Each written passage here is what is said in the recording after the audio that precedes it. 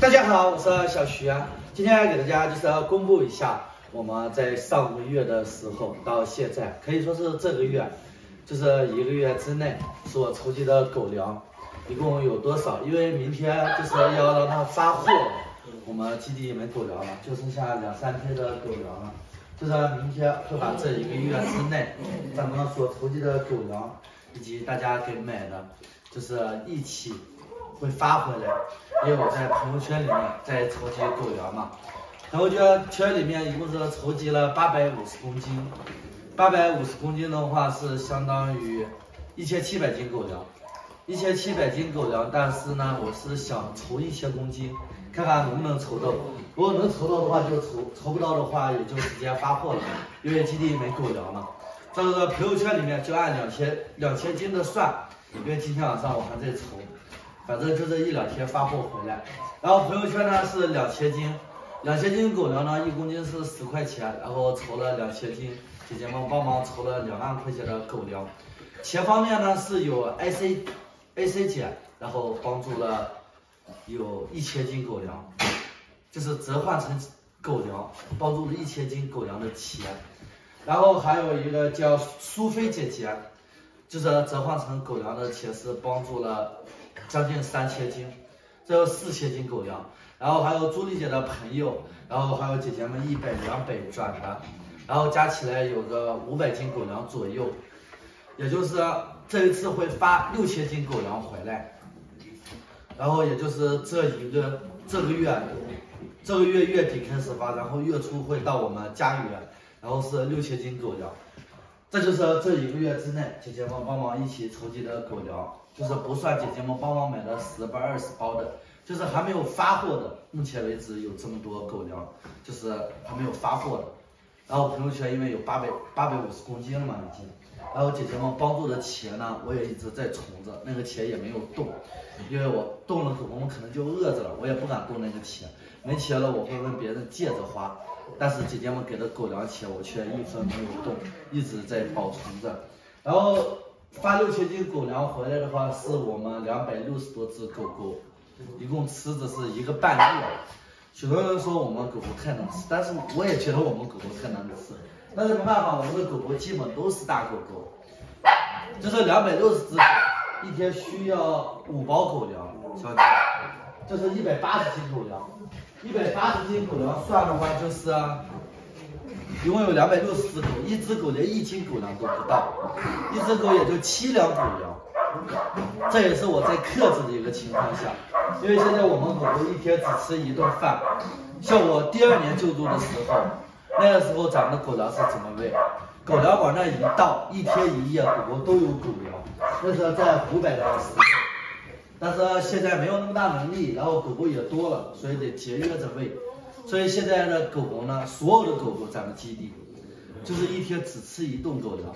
一顿狗粮总共是到这四包半。因为晚上有一些老弱病残的狗狗，还有幼犬，这救那些小狗，也不是幼犬，今年救的那些小狗，然后他们有时候感觉他们会饿，晚上会再加一些进去，加半包。像我屋子里面的会喂一喂，那边有个胆小区域里面的晚上会倒一点，是需要用这二十斤狗粮，所以一天下来的话是五包狗粮，一包狗粮是四十斤，然后五包狗粮就是两百斤，这是一天的一个狗粮消耗，然后这次筹的狗粮呢是稍微比较中等的吧，十块钱一斤狗粮也不算差，但是也不算太好，像我平时自己买的话也是买这七八块钱的一斤狗粮。因为狗粮确实开销有点大，还有关于我们做饭的问题，冬天不是不做饭，冬天是不能做饭，因为冬天一做饭结冰了。你把饭做好了，搞出来喂狗的时候，狗结冰了，在屋子里面狗又打架打的搞不成。像我们人手又不够，就三个工作人员，两百六十多只狗狗，人家有的基地两百多只狗狗，可能基地有七八个、六七个工作人员，但是我们算上我，一共就三个工作人员，这是基地。像冬天一下雪，需要把雪 扫了，还得有一个专门去烧暖气的，就是我们屋子里面的暖气，必须有一个专门的人，就是白天晚上去烧那个暖气，因为那个暖气一断的话，可能我们自来水也断了，然后暖气也断了，所以就是我们那个暖气就不能停，要一直一直烧着。有一个人会专门就是烧着锅炉房，然后十二哥有时候也会帮忙收拾收拾卫生，然后我也会帮叔叔收拾收拾卫生。像我屋子里面的卫生就是我自己收拾，我相当于一天也就是照顾屋子里面这三四十只狗，其余的就是录视频啊、直播啊什么之类的。所以到冬天我们根本没没办法做饭，要坚持过来，豆豆，要坚持四个月左右，四个月左右喂狗粮。过了这四个月的话，我们就可以继续做饭了。做饭的话成本要低那么一点点，一个月能省个六七千。现在这两百六十多只狗狗，一个月光吃就要吃掉三万块钱。吃狗粮的话，一个月吃要吃掉三到四万块钱，就是一个月光吃。然后医药费的话，就倒是没花多少这几个月。然后这就是上次大家帮忙筹集狗粮的一个情况，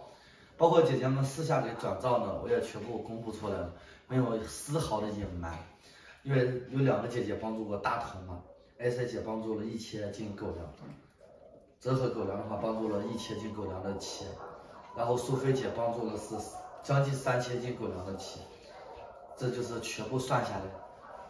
就是大家不知道的，姐姐们给我转钱，大家不知道的，然后这个钱呢，全部在我这里存着，这次我会全部以狗粮的形式发布到家园，然后今天就是给大家公布一下，同时也给大家统计一下，到时候狗粮回到家园，我还会就是感谢大家。然后带着这些狗粮以及我们狗狗，跟所有人说一声感谢，是你们的帮助，让这个狗狗在温暖的冬天有一个吃饱肚子的机会，在温暖的在这个冬天里面可以温暖的度过。谢谢大家，感谢你们的帮助，谢谢。像我屋子里面这些狗狗，我平时会给它们添加一些狗粮进去，除了就是喂一顿狗粮之后，另外还要单独就是给它们倒个四五斤狗粮。让它们晚上来吃，因为屋子里面都是些小狗狗，咋又遮眼睛了？许多狗，咱们姐吧，尤其是这边的，这边有基本上都是些老弱病残，像灰灰啊，还有如珠如宝、小博士，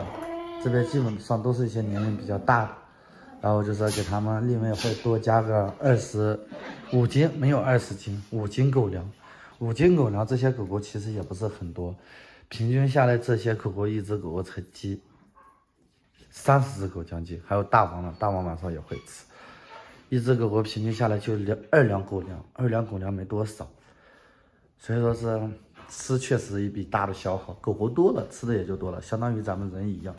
几百个人吃饭跟一个人吃饭，它永远都是有区别的。好了，这就是今天给大家公布的一个明细。